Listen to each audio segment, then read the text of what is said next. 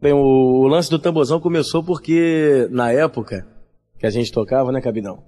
Usava-se muito o atabaque. Uma, uma, uma batida feita de conga, tipo conga, né? E o pessoal associava muito ao, ao ritmo que era o funk da época, que era o, o Voltimix. Então o que aconteceu? Naturalmente, a gente, como pô, todo produtor sabe, é, sempre tem uma necessidade de melhorar, de expandir, de, de criar sons novos.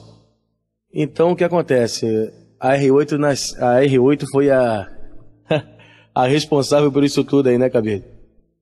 Foi justamente numa, é. justamente numa R8 dessa aí que foi criado o tambozão. Acredite se quiser. Então o que aconteceu?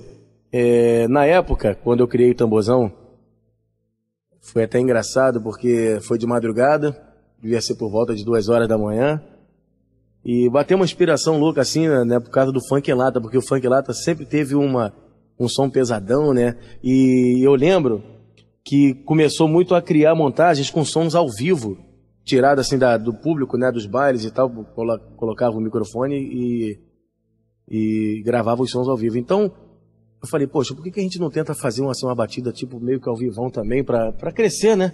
Para dar mais, mais sustentação ao som foi quando a gente começou a buscar elementos assim da, da bateria eletrônica, começamos a juntar aquela imundícia toda ali para ver se dava certo.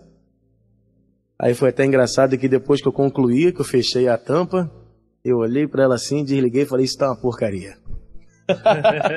Ficou uma semana encostada.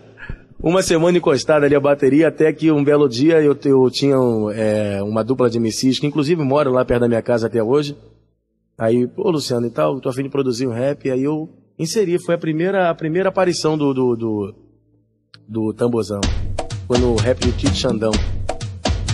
E tá registrado em CD, tem o CD Lugarina apresenta os melhores da Zona Oeste. Foi gravado em 98. Inclusive é bem interessante falar isso no lance da, da, lance da, da data também, porque a gente faz até uma aposta na cabeça. Tenta achar algum CD que tenha uma, a primeira aparição gravada. Não vai ter. E foi realmente a primeira música gravada. Aí depois, meu parceiro Cabidão Bolado Inspirado fez a montagem da gota, né? É, foi isso, isso mesmo. É, apesar que você fez o que havia tá lá, novos ritmos, novos, novas galeras, com certeza você pega aquele tamborzão, o patrão Cocota escutou, esse tambor, esse tambor que é o tambor do funk, vamos mudar o funk, que é o fez a montagem da gota, as séries equipes de sonhos começaram a eu copiar, o tambor é o, é o da Zona Oeste. O Luciano criou. Aí eu usei aquilo. Aí o pessoal começou a perguntar, pô, de onde é aquele tamborzão? Pô, aquele, tambor, aquele tamborzão é o tamborzão da Zona Oeste, feito por Luciano. Aí, aí foi o, o ritmo do funk. Todo mundo começou a copiar, botar na música. E a evolução começou a evoluir, evoluir, evoluir, até chegar nesse tamborzão de hoje. É, porque o que aconteceu foi o seguinte, quando, quando o tamborzão é, foi criado, a gente, eu no caso, eu passei para vários DJs e tal, e aí um vai passando pro outro. Quando o Cabide fez a montagem da gota, eu lembro bem que teve assim aquele impacto legal, todo mundo gostou da, da, da do, do, som do tamborzão e naturalmente começou a pedir, né? Foi passando para um, para outro, até que veio o festival de galeras lá do Coroado, lá da Cidade de Deus. E inclusive tem, foi, foi justamente onde batizaram a batida, no caso, né? De tamborzão, que não tinha nome ainda. E lá, esse, festival de galeras foi assim um festival que marcou muito, porque onde saiu os maiores nomes do funk hoje, Tato Quebra Barraco, Bonde do Tigrão, é, Bonde do Vinho, vários MCs saíram de lá daquele festival e batizaram o tambozão. Aí, o nosso amigo Duda, né, começou a produzir as, as montagens, talvez até a pedido dos próprios MCs, eu eu não sei bem, porque na época eu estava meio ausente, e começou realmente a mudar vinha ainda assim associado ao Mix, até que o tamborzão foi tomando conta, foi tomando conta, foi, foi subindo de volume, vamos colocar assim, e hoje é o ritmo do funk. Quem esperava, né? Eu não esperava. Esperava, Cabito. Não esperava, não. Os povos MCs que chegaram assim, bota aqui tamborzão, aquele tamborzão neurótico. Bota o tamborzão, que a gente chamava, a gente chamava mesmo de batuque. É, é, é, é batuque, não era tamborzão. Os MCs, bota aqui tamborzão neurótico aí, pegou. Tá hoje é tamborzão. Tamborzão, o tamborzão do funk. Não, acho que foi bem diferente do Voltimix, porque antigamente os DJs usavam aquele atabaquezinho. Era, era, era prática já usar, né? Porque só o Voltimix, só o Voltimix não, criou. É, os DJs começaram a ter aquela coisa de, de agregar sons, né? Então, é, usava-se muito aquele atabaque. E o tambozão veio mais ou menos naquela linhagem do atabaque, né? Que você vê que a base pá, pá, pá, não mudou. Só foi agregando, só foi sons agregados. Eu, eu comecei a baixar, é, é, associar sons de, de, de, de, bastante tumba mesmo, entende? É, é, é, como é que é o nome daquele. Não é surdão, não, gente. Esqueço o nome. Ah, eu vou lembrar o nome depois do, do que tá ali. E a gente vai. Então, o que acontece? Eu fui, eu fui mudando, modificando alguns pitches também, né? Na, na hora da programação, eu mudei alguns é, pitches assim de, de, alguns instrumentos, de alguma é, som de percussão.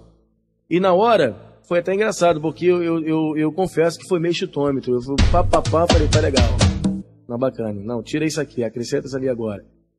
E, na, e naquela junção, é, é, é, ficou um lance bacana, porque ficou, eu, o som era estéreo, porque o, atualmente o tamborzão ficou mono por causa da, do costume que se tinha de usar MD na época. Nós DJs usávamos MD, aparelhos de MD. Então, é, porque como o disquete era uma coisa cara, né, custava um dinheirinho, os aparelhos que, que, a gente comprava mais modernos tinham o recurso de usar em mono, né, Cabito? Então, para aumentar o tempo do disquete, os DJs começaram a criar aquele hábito de gravar tudo em mono. Então o tamborzão foi passado de um para o outro, como só se passava de MD para MD, não tinha o recurso do computador. Então tu pode reparar que o som do tamborzão hoje é mono, ele, é, ele é bem mono mesmo, mas era estéreo. Então, poxa, é... a grande verdade, a grande verdade é que nem eu, nem Cabide, nem ninguém sabia que o tamborzão viria a ser o ritmo do funk carioca para o mundo. É, inclusive o rival de comunidade hoje em dia, pô, tá, tô usando do início ao, fim. ao final e acaba batido o tempo todo. É do início ao fim, cara. E, e, e quando muda, ninguém dança. Entendeu? Quer que todo mundo do início ao fim do baile. No caso de, de, de o baile começar às 10 horas da noite, vai acabar às 6 horas. E chegou um estágio que é como o Cabi está falando, chegou um estágio que para mudar agora vai levar um tempinho?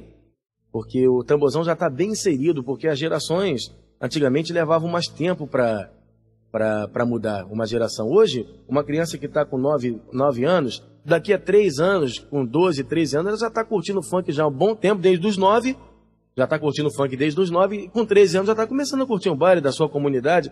E agora, pra, como é que faz? É complicado. Para mudar a, a, história do tamborzão hoje, para de repente vir, vir a criar um, um elemento novo, ou talvez um, um ritmo novo, eu acredito que vai levar mais uns, uns 10 aninhos aí, né?